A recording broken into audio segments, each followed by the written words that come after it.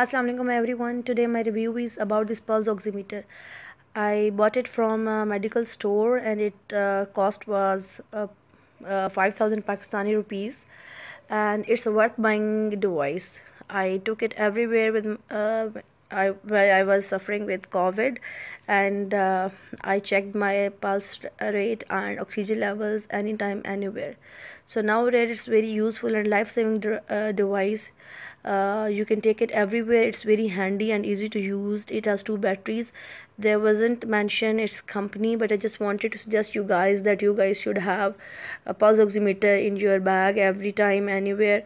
It's very easy to check. Look uh, i just put my finger inside and 99 is my pulse uh, uh, sorry 99 is my oxygen level and 82 is my pulse rate. So it's very easy to use uh, anytime anywhere you guys can use it. It's a life-saving device and it's worth buying. You guys can have it and its readings are uh, um, and the readings are very accurate because I have compared these readings with the cardiac monitors as well because when I was admitted then it was very easy to go anywhere with this device as compared to cardiac monitor everywhere so i really say recommend that you should have this uh, pulse oximeter anywhere